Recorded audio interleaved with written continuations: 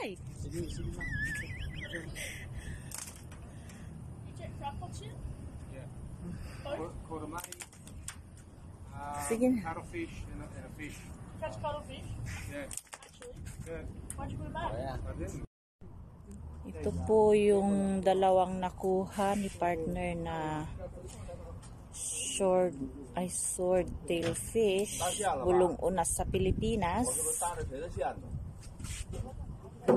ilang feet yan Isang metro mahigit. isang metro mahigit daw mas malaki yung isa mas maliit po yung isa pero ulam na po ito ng ilang week Kulang ko lang 10 kilo. Kulang ko lang limang kilo. Siguro, apat na kilo. ay han oh nagaano daw This one? Oo, fish on. Fish on. Meron na naman po isa. No?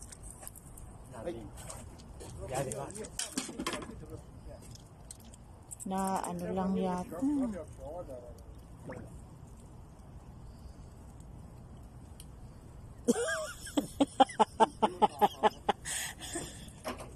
Nagkatali-tali na.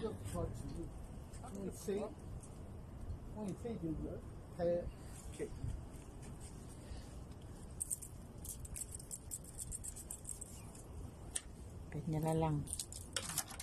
Kala namin meron na naman. Ayan po, dalawang bulong unas po. Swordtail fish ang nakuha namin dito. Eh, medyo nagtago na yata yung mga espada. Kaya pupunta na kami sa aming kotse para makapagpahinga at bukas ibang fishing site na naman ang pupuntahan namin. So, ayan po. Ayan. Siguro to. 15 kilos siguro tong dalawa na to. Ang isa ay limang kilo mahigit. Mm, ang isa ay 5 kilo mahigit daw. Yung isa mas malaki. Ayan po.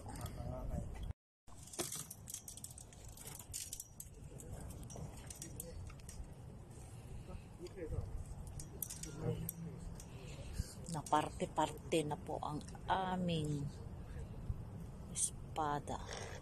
Tinanggal mo na yung ulo? Oo.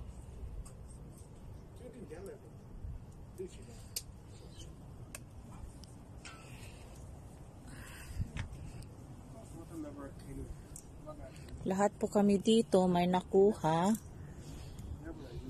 Yung iba po, marami rin po silang nakuha. Mga baka may mga sampung piraso po. Ay ko.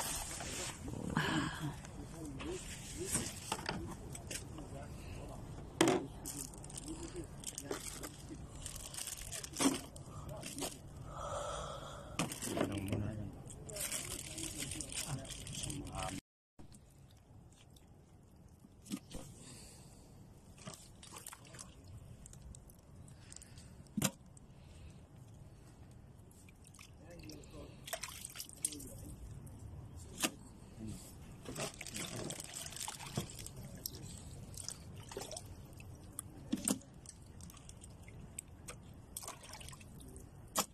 Oh, yan.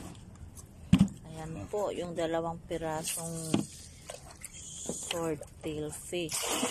Pinarti-parti na po namin para malagyan na po namin ng ice. Tapos meron. Tapos meron pa kaming ayan po.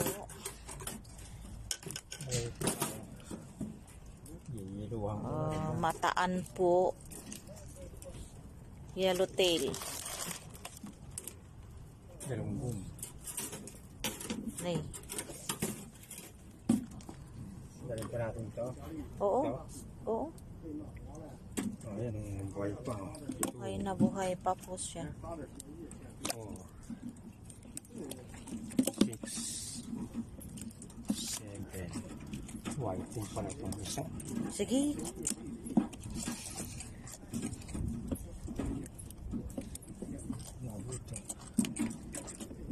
Ito yung mga ano sa'yo. Nakapal lang naman yan eh. Kaya nga. Lagay mo na yung ice. Tanggalin mo sa plastic. Oo. Para ma... Itaktak mo na dyan ah. Yan yung... Ano, flies dyan. Ayan.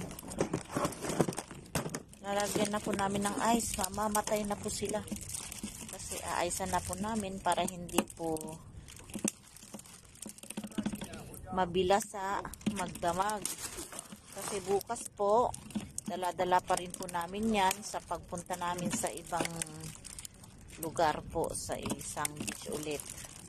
Kung saan marami din pong makuha kasi nung huling fishing po namin eh, galing po kami doon Yelo lang katapat yan.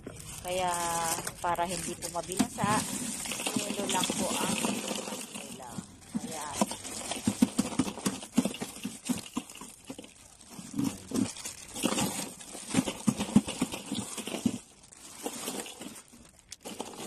ayan. Mamatay kayo ayaw man namin kayo ay mamatay sa lamig. Kaso kailangan para hindi kayo mabilasa hanggang magdamag. Ayan. Ah, galaw pa sila ay.